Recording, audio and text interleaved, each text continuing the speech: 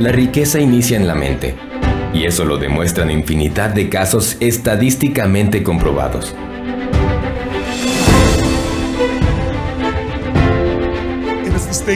Nosotros somos seres emocionales. Nuestras decisiones, que determinan nuestro futuro, siempre están tomadas en base a nuestros estados emocionales.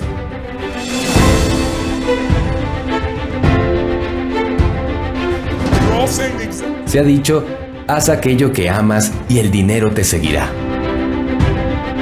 El verdadero éxito viene de descubrir lo que te encanta hacer y luego poner todo el corazón para hacerlo mejor y mejor.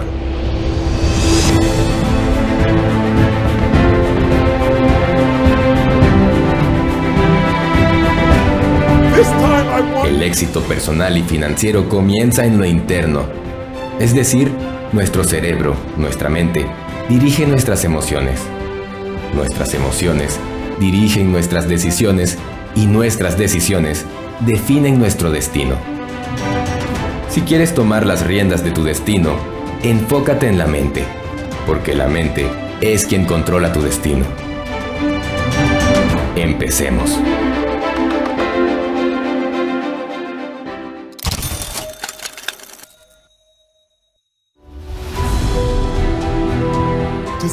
Existen cinco fuerzas que dominan tu mente. Son cinco aspectos que están en piloto automático, dirigiendo tus emociones y en consecuencia tus decisiones y tu destino. La clave está en que si desarrollas conciencia de cómo estas fuerzas controlan tu mente, entonces podrás utilizarlas a tu favor y crear la vida que anhelas. Primera fuerza que domina tu mente las creencias integrales o globales.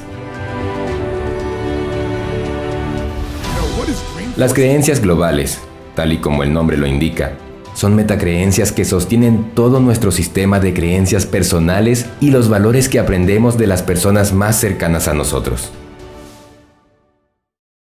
Todos tenemos creencias globales. Las mismas expanden nuestra visión del mundo y nos impulsan hacia el progreso o nos detienen y nos atan a una vida de mediocridad. Puedes comenzar a definir tus creencias globales o las de otros preguntando o preguntándote, ¿qué es la vida para ti? En la respuesta detectaremos la influencia de esas creencias globales asimiladas personalmente. Hay personas que creen que la vida se trata de una batalla entre el bien y el mal, que hay que ganar. Para otras personas la vida se trata de conquistar sus sueños, de conquistarse a sí mismo, etc.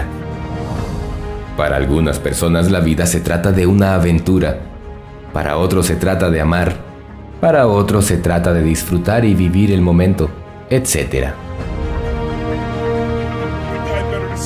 Nuestras creencias globales determinan los estados emocionales que nos llevan a tomar diferentes decisiones. Te pregunto, ¿Crees que actuará diferente una persona que piensa que la vida es una batalla entre el bien y el mal contra una persona que piensa que la vida es una aventura? Definitivamente que sí. Otro caso. ¿Actuará diferente una persona que cree que la riqueza es limitada contra una persona que cree que la riqueza en el mundo se crea y expande ilimitadamente? Creo que estarás de acuerdo conmigo y afirmarás que definitivamente así es. Para el primero, el éxito de otro significará menos éxito para él, mientras que el segundo se contentará por el éxito de otros y no sentirá que el suyo está siendo amenazado. Por lo tanto, ahora hazte la pregunta y define tus creencias globales.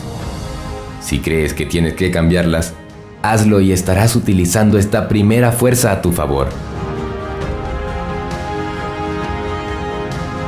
Segunda fuerza que domina tu mente. La autoimagen. El subconsciente. Esa parte muy poderosa de la mente que es como una planta de producción con miles de obreros trabajando en llevar a la realidad lo que tú crees que es verdad o aquello que crees posible para ti. Por ejemplo, si crees que eres un perdedor o no merecedor de riqueza, porque por muchos años tus padres o amigos te lo hicieron creer, tu subconsciente estará trabajando día y noche, sin tú pensarlo, en demostrarte lo perdedor que puedes ser. Si crees que no sirves para el deporte, o que no tienes oído musical, o que no naciste para las matemáticas, tendrás una maquinaria ayudándote a llevar a la realidad esa creencia en tu vida. Por el contrario, si crees que todo lo puedes aprender, tu subconsciente trabajará en esa verdad. Si crees que eres una persona de valor, el subconsciente trabajará en ello. ¿Alguna vez soñaste con tener un grupo de personas trabajando para ti a la perfección mientras duermes, vas de vacaciones, tomas sol en la playa o haces tu pasatiempo favorito? Pues te tengo buenas noticias. Es tu subconsciente. Está trabajando para ti. Solo depende de ti si quieres que trabaje para tu prosperidad o mediocridad. Necesitas darle las órdenes correctas o estarás en aprietos. Tercera fuerza que domina tu mente. Tu pregunta principal. Todos tenemos una pregunta principal que nos hacemos una y otra vez a nivel subconsciente. La respuesta a esa pregunta hace que actuemos de una manera donde responderla positivamente no es bueno para nuestra vida. Esa pregunta principal normalmente es una iteración o modificación de las siguientes dos preguntas. ¿Soy lo suficiente? ¿Tengo lo que se necesita? En consecuencia, ¿seré amado y o aceptado? En muchos casos la pregunta principal de la mayoría de personas por muchos años es, ¿qué estará pensando él o ella de mí? ¿Y cómo puedo hacer para caerle bien o que me acepte? Esa pregunta lleva a ser una persona que siempre busca complacer a los demás y al cual le cuesta mucho confrontarlo, porque confrontar ponía en riesgo la aceptación de las demás personas. El gran problema con todas estas preguntas es que dependen de otros. Ser aceptado depende de que otros te acepten. Ser el mejor o no depende de que otros sean peores. Necesitamos movernos de una pregunta desempoderadora a una pregunta empoderadora. Es decir, que dependa de nosotros. Por ejemplo, ¿cómo puedo ver lo bueno de esta o tal situación? Esta pregunta depende de ti, no de otros. Es importante saber cuál es tu pregunta actual, porque seguramente tendrás que reescribirla. Cuarta fuerza que domina tu mente, tus reglas. Nosotros llegamos a los diferentes estados emocionales debido a reglas que tenemos integradas en nuestro subconsciente. Hazte la siguiente pregunta. ¿Qué tiene que pasar para que te sientas en paz? feliz, molesto o molesta, decepcionado o decepcionada. Si respondes honestamente a estas preguntas, te darás cuenta de lo siguiente. Para las emociones positivas, paz, felicidad, plenitud, etc., siempre te colocas reglas muy difíciles de cumplir y que dependen de otros. Por ejemplo, me siento feliz en mi trabajo cuando las cosas me salen bien mi jefe me reconoce mi trabajo y logro terminar todas mis responsabilidades antes de la hora de salida. Las reglas que te has colocado para alcanzar la felicidad y la paz son imposibles de cumplir y dependen de otros. Tu jefe, por ejemplo. Por eso casi nunca te sientes feliz y en paz. En el caso contrario, para las emociones negativas, normalmente te colocas reglas que son sumamente fáciles de cumplir. Por ejemplo, me siento decepcionado o decepcionada cuando mi pareja no se comporta como yo espero. Por eso es tan fácil sentir emociones negativas como frustración, rabia, ira, decepción, molestia, etc. ¿Qué tal si cambias las reglas? ¿Qué tal si colocas reglas que dependan de ti y que sean sumamente fáciles de cumplir para las emociones positivas. Por ejemplo, felicidad. Me sentiré feliz cada vez que abra los ojos en la mañana y me dé cuenta de que la vida me regaló otra oportunidad de vivir. Quinta fuerza que domina tu mente. Los pensamientos limitantes.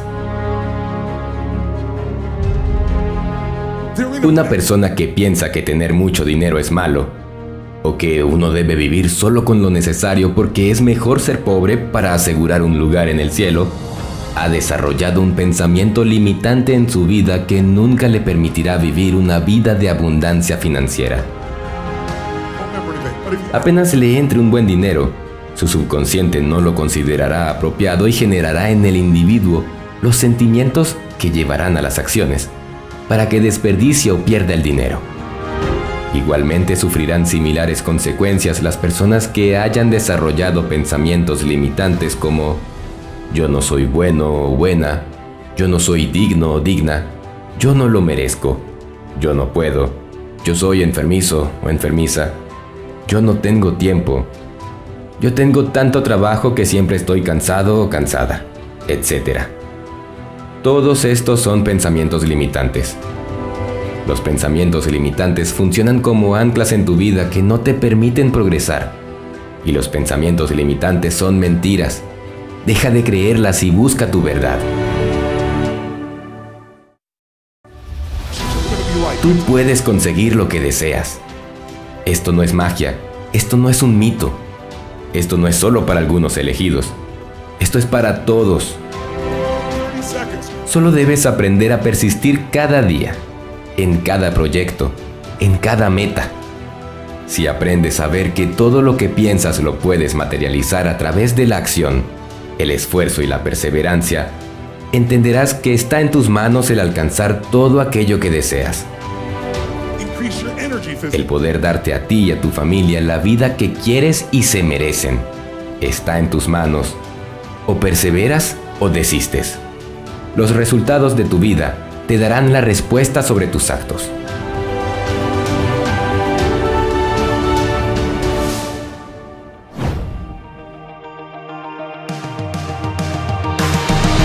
Finalizar este video, recuerda nuestro compromiso. Las tres Cs. Comenta, comparte y crea.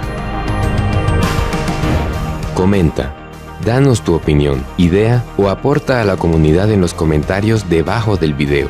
Los leemos siempre y nos inspira ver testimonios de los cambios que estamos causando en muchas personas. Comparte. Ayúdanos a que más personas conozcan estos conceptos. Comparte el contenido con tus amigos, conocidos y en tus redes sociales. Crea. Utiliza lo aprendido para crear algo magnífico para tu vida.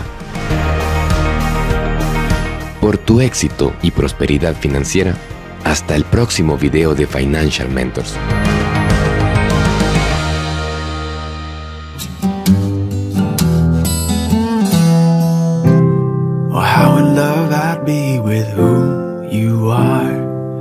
But you showed me that you showed me what it means to be loved. The way you touch me, hold me quietly.